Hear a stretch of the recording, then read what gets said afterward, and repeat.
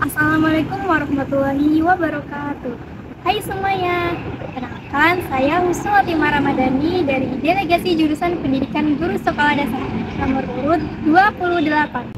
Sebelumnya ada yang udah tahu belum sejarah terbentuknya FKIP itu seperti apa? Nah, mari ikuti saya untuk membahas tentang seputar FKIP.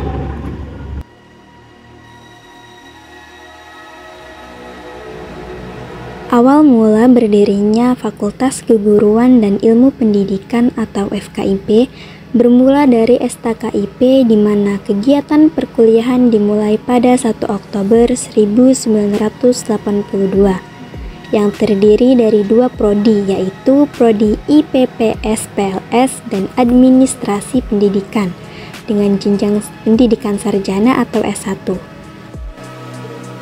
Program studi pendidikan luar sekolah atau PLS berlokasi di Serang, sedangkan program studi administrasi pendidikan berlokasi di Pandeglang. Sejak tahun 1987 sampai dengan sekarang, program studi administrasi pendidikan mengalami phasing out oleh pemerintah, sehingga tidak menerima mahasiswa baru lagi. Pada tahun 1986, berdirilah program studi Bahasa dan Sastra Indonesia. Namun, karena ada beberapa kendala untuk mengurus status akreditasinya, maka program studi Diksatrasia bermerger dengan STKIP Galuh Ciamis.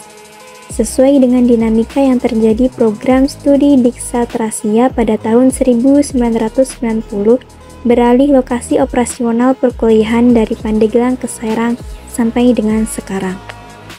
Seiring berkembangnya zaman, tuntutan kebutuhan masyarakat terhadap FKIP, maka pada 1994 dibuka program pendidikan guru taman kanak-kanak atau PGTK dengan surat keputusan Yayasan Pendidikan Tirtayasa. Selanjutnya pada tahun 2004 dibuka juga program studi pendidikan bahasa Inggris S1 dengan izin operasional Dikti Depdiknas RI nomor 1254 tahun 2003. Pada tahun 2002 dibuka kembali dua program studi yakni Pendidikan Biologi dan Pendidikan Matematika.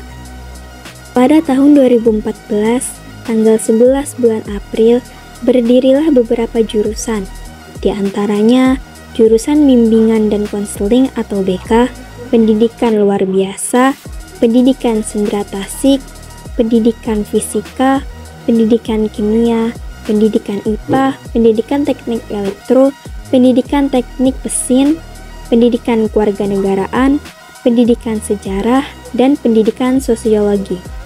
Dengan demikian, sampai dengan tahun 2014, Fakultas Keguruan dan Ilmu Pendidikan telah memiliki 18 jurusan, di antaranya ada jurusan pendidikan luar sekolah atau PLS, jurusan pendidikan guru sekolah dasar atau PGSD, jurusan pendidikan anak usia dini atau PG PAUD, jurusan pendidikan bahasa dan sastra Indonesia atau Dikstrasia, jurusan pendidikan bahasa Inggris, jurusan pendidikan matematika, jurusan pendidikan biologi, jurusan studi pendidikan bimbingan dan konseling, jurusan pendidikan luar biasa atau PLB, jurusan pendidikan sendera tasik, jurusan pendidikan kewarganegaraan atau PKN, jurusan pendidikan sejarah, jurusan pendidikan sosiologi, jurusan pendidikan fisika, jurusan pendidikan kimia, jurusan pendidikan IPA, jurusan pendidikan teknik elektro, dan jurusan pendidikan teknik mesin.